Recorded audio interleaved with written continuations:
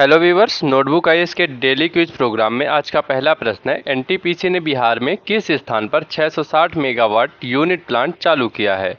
आपके ऑप्शन है पटना, दानापुर, बाढ़ या हाजीपुर। सही विकल्प का चयन करें। इसका सही उत्तर है ऑप्शन सी एनटीपीसी ने बिहार में बाढ़ संयंत्र की 660 मेगावाट इकाई शुरू की है। राज्य के स्वामित्व वाली एनटीपीसी लिमिटेड ने बाढ़ सुपर थर्मल पावर प्रोजेक्ट, यानी कि एसटीपीपी के चरण, वन तीन बाई छह मेगावाट की 660 मेगावाट इकाई दो को चालू कर दिया है। आज का दूसरा प्रश्न है, रेल मंत्रालय द्वारा शुरू की गई छूट प्रतिशत क्या है? जो एसी में बैठने की सुविधा वाली सभी ट्रेनों की एसी चेयर, कार और एग्जीक्यूटिव क्लास में लागू है।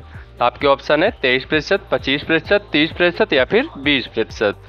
सही विकल्प का चयन करें। तो इसका सही उत्तर है ऑप्शन बी। रेल मंत्रालय ने अनुभूति और विशडोम कोच सहित एसी सीटिंग सुविधा वाली सभी ट्रेनों की एसी चेयर कार और एग्जीक्यूटिव क्लास में छूट योजना शुरू की है। रेल मंत्रालय ने 8 जुलाई 2023 को घोषणा की कि वंदे भारत सहित सभी ट्रेनों के एसी चेयर कार और एग्जीक्यूटिव क्लास के लिए किराए में मूल किराए से 25 प्रतिशत तक की कटौती की जाएगी। यह योजना, अनुभूति और विस्टा डोम कोचों सहित एसी में बैठने की सुविधा वाली सभी ट्रेनों की एसी चेयर, कार और एग्जीक्यूटिव कक्षाओं में लागू होगी। ये योजना अवकाश या त्यौहार विशेष आदि के रूप में शुरू की गई। स्पेशल ट्रेनों पर लागू नहीं होगी। नज़र डालते हैं आज के तीसरे प्रश्न में। बेहतर दक्षता और कम उत्सर्जन के लिए एलिविटेटेड टैक्सीवे प्रणाली लागू करने वाला भारत का पहला हवाई अड्डा कौन सा है?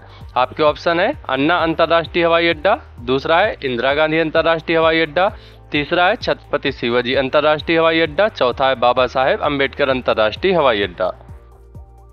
तो इसका सही उत्तर है ऑप्शन बी। दिल्ली आईजीआई हवाई अड्डा, बेहतर दक्षता और कम उत्सर्जन के लिए एलिवेटेड टैक्सीवे सिस्टम लागू करने वाला भारत का पहला हवाई अड्डा बन गया है। देखते हैं आज का चौथा प्रश्न। किस व्यक्ति को यूक्रेन पर संयुक्त राष्ट्र मानवाधिकार परिषद के जाँच आयोग का सदस्य नियुक्त किया गया है? आपके ऑप्शन है वोल्कर तुर्क, एंटोनियो गुटेरेस, वेकलाओ बालेक या फिर वृंदा ग्रोवर। तो आपका सही उत्तर है ऑप्शन डी। अधिवक्ता बृंदा ग्रोवर को यूक्रेन पर संयुक्त राष्ट्र मानवाधिकार परिषद के जाँच आयोग का सदस्य नियुक्त किया गया है। अधिवक्ता बृंदा ग्रोवर को 2022 में संयुक्त राष्ट्र मानवाधिकार परिषद द्वारा यूक्रेन पर स्थापित स्वतंत्र अंतर्राष्ट्रीय जाँच आयोग का सदस्य नियुक्त किया गया था। देखते हैं आज का पांचवा प्रश्न। जुलाई 2023 में किस राज्य की टीम ने तेरहवीं हॉकी इंडिया जूनियर महिला राष्ट्रीय चैंपियनशिप जीती है? आपके ऑप्शन है उत्तर प्रदेश, मध्य प्रदेश, हरियाणा या फिर बिहार। तो आपका सही उत्तर है ऑप्शन बी। मध्य प्रदेश ने तेरहवीं हॉकी इंडिया जूनियर महिला कप चैंपियनशिप जीती है। हॉकी मध्य प्रदेश ने फाइनल में हॉकी झारखंड को एक ज़ीरो से हराकर तेरहवीं हॉकी इंडिया जूनियर महिला राष्ट्रीय चैंपियनशिप 2023 जीत ली है। आज का छठा प्रश्न है, किस राज्य सरकार ने जन सम्मान वीडियो प्रतियोगिता शुरू की है? आपके ऑप्शन है उत्तर प्रदेश, मध्य प्रदेश, हरियाणा या फिर राजस्थान। इसका सही उत्तर है ऑप्शन डी। राजस्थान ने प्रमुख कल्याणकारी योजनाओं पर जन सम्मान वीडियो प्रतियोगिता शुरू की है। जन सम्मान नाम की इस प्रतियोगिता में योजनाओं पर लघु वीडियो शूट करना और अपलोड करना शामिल है। प्रतियोगिता में भाग लेने के लिए लोगों को 30 से 120 सेकंड की लंबाई के वीडियो बनाने होंगे और उन्हें हैशटैग जन सम्मान जय राजस्थान के साथ कम से कम दो सोशल मीडिया प्लेटफॉर्म पर अपलोड करना होगा। 6 अगस्त को प्रतियोगिता समाप्त होने तक प्रतिदिन 100 प्रतिभागियों के लिए 1000 का सांत्वना पुरस्कार भी घोषित किया जाएगा।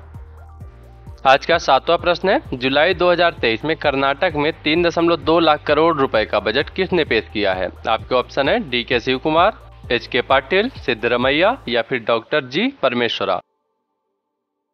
इसका सही उत्तर है, ऑप्शन सी। कर्नाटक के मुख्यमंत्री ने 7 जुलाई 2023 को अपना चौदहवा राज्य बजट पेश किया, जिसमें गारंटी के लिए बावन हज़ार करोड़ रुपए के साथ सीएम सिद्धरमैया ने तीन दशमलव दो लाख करोड़ रुपए का बजट पेश किया है। उन्होंने उसी वर्ष, वित्तीय वर्ष 2023-24 के लिए तीन लाख सत्ताईस हज़ार सात सौ करोड़ रुपए के कुल परिव्यय के साथ एक बजट पेश किया है। श्री सिद्धरमैया द्वारा प्रस्तुत बजट में भारत में निर्मित शराब पर अतिरिक्त उत्पाद शुल्क में 20 प्रतिशत और बियर पर पाँच दशमलव सात एक प्रतिशत की वृद्धि की गई है, जिसमें पूरे कर्नाटक में संपत्तियों के मार्गदर्शन मूल्य को संशोधित करने का प्रस्ताव है। देख लेते हैं आज का आठवां प्रश्न। किस पुरुष टीम ने दूसरा F I H hockey pro league खिताब जीता है? आपके ऑप्शन है रूस, अमेरिका, जापान या फिर नीदरलैंड। इसका सही उत्तर है ऑप्शन डी। नीदरलैंड के पुरुषों ने दूसरा एफआईएच हॉकी प्रो लीग खिताब जीता है। बेल्जियम पर अपनी चार दो की जीत के साथ नीदरलैंड के पुरुषों ने सीज़न चार में अपना अभियान 35 अंकों के साथ समाप्त किया, जिससे वे FIH hockey pro league 2022-23 championship के चैंपियन बन गए हैं। नीदरलैंड पुरुषों की प्रतियोगिता में दूसरा खिताब जीतने वाली पहले टीम बन गई है, जिसने पिछले साल प्रतियोगिता में जीते गए अपने पहले खिताब का सफलतापूर्वक बचाव किया था। पुरुष और महिला दोनों टीमों ने 2022-23 सीज़न में खिताब जीतकर Netherland F hockey pro league के एक सीज़न में डबल प्रदर्शन करने वाला पहला देश बन गया है। देखते हैं आज का नवा प्रश्न। फ्लिपकार्ट ने अपने प्लेटफॉर्म पर व्यक्तिगत ऋण की सुविधा के लिए किस बैंक के साथ साझेदारी की है? आपके ऑप्शन है भारतीय state bank HDFC bank, Axis bank या फिर आईसीआईसीआई बैंक।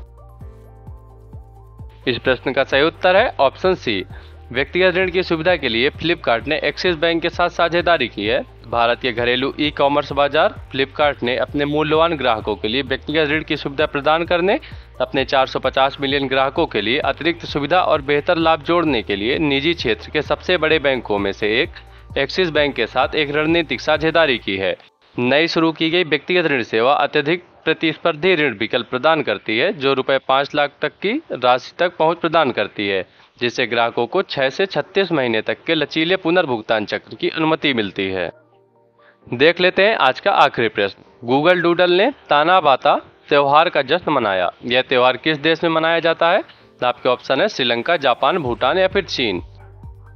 इस प्रश्न का सही उत्तर है ऑप्शन बी। गूगल डूडल ने जापानी स्टार त्यौहार ताना बाता का जश्न मनाया है। गूगल ने 7 जुलाई 2023 को एक खास डूडल के ज़रिए जापानी त्यौहार ताना बाता को मनाया है। तानाबाता हर साल सातवें चंद्रमा के सातवें दिन मनाया जाता है।